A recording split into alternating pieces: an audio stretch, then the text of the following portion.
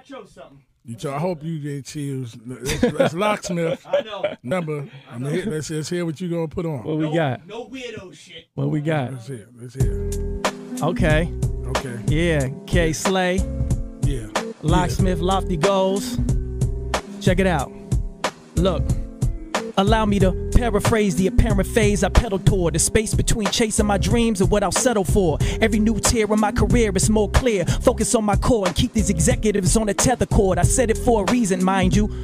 People speculate, but to myself is the only label I'm signed to. And I don't feel the need to proceed. I'm reserved hardly. Do all the work and receive proceeds from a third party? That's absurd, sorry. I just prefer to be heard bar me. Rappers sign and disappear. Commandeer a search party. Search far beyond the farce that you fraudulently falsified. The false guide you fabricating the faith that you toss aside. I assault your pride, calling a lie like what's untrue. They rapping with such uncouth. They been in like Hut 1 2. No telling just what some do. We shun artists and praise social media starlets. No judging, I probably fuck one too. This is here, this is now, this is how we are viewed. We cop shoes before food, cause our values are skewed. We spin bread to get breads, it's in bread. We've been bred, we've been fed and misled. We duck shots to misled. With this said, I'm trying to paint it clear as possible. Some people are roadblocks, I had to steer those obstacles. I would not let it swerve me like the clergy to the flock or the distorted plot they try to smear this gospel through. My lyric and vocal expression has never been questioned. I know what it's worth. You cannot define, I try to confine what is inside, I try to pervert. But if it's this lame, I will disclaim with a disdain from a disdain, saying his name in a dismay. I will display showing dismay. But on this day, my total intention, total the totem you hold for suspension. I'm engrossed in my own convictions. I know that my foes are stricken with jealousy and contingency, stalking my timeline. But make sure they never mention me. Lyrically,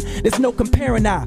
How come you don't collab more, Lock? In three words, niggas is terrified. I terrorize any rapper in any issue. Fuck a tastemaker, cut off his tongue and tell him to wish you. Rappers use big words but don't be saying much. To overcompensate for the music they had to rush. Instead of creative ways to convey what they feel as such, they try to overcomplicate through their lyrics, and that's a crutch. Clutching your notepad, you're so mad that you pretend. So you spit the most far out shit that you can pin. But when you try to sound smart without substance in your art, you're just as bad as the swagged out rappers that you condemn. Then a fan once wrote, We sick of gimmicks, see? You gotta be controversial and diss them for empathy. But if I only become worthy by giving you controversy, then in reality, the only real gimmick is me.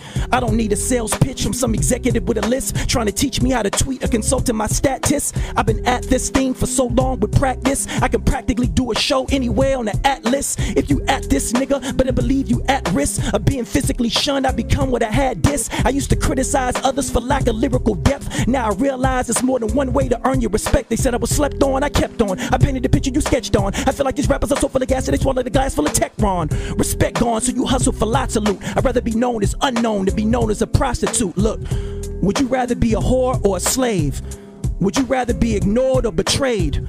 Would you rather be gathered amongst cadavers covered in lime and forced to redefine whatever Lord you praise? That's the promise that they give and expect you to choose between the lesser two evils in hopes to confuse the mad sheep where they bathe in their own fecal, consuming the residue of revenue from the folks they abused.